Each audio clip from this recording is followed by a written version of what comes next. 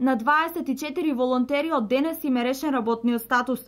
Трансформација на својот работен однос на неопределено време добија вработените во детската градинка Вера Циривири Трена. Трансформацијата ќе се одвива во три фази.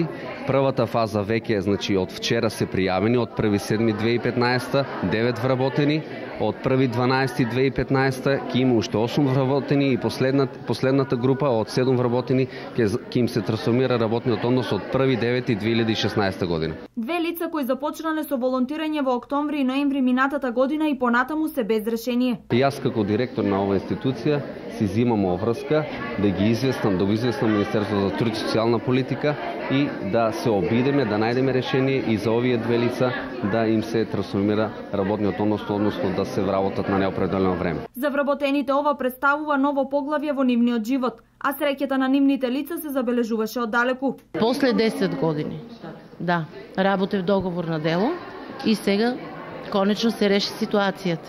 Какво е чувството? Не можам да опишам. Убаво е.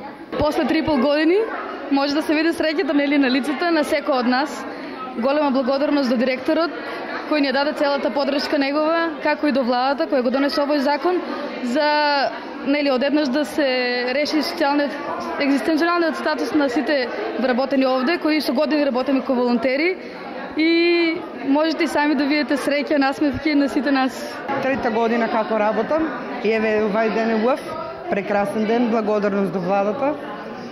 Така да добивме бенефиции, стаж, значи сето оно што не следува. Повисока плата? Плата, нормално да. Инаку детската градинка Вера Циривири Трена во своите 4 клона згрижува околу 605 дечиња, за кои се грижат 98 вработени.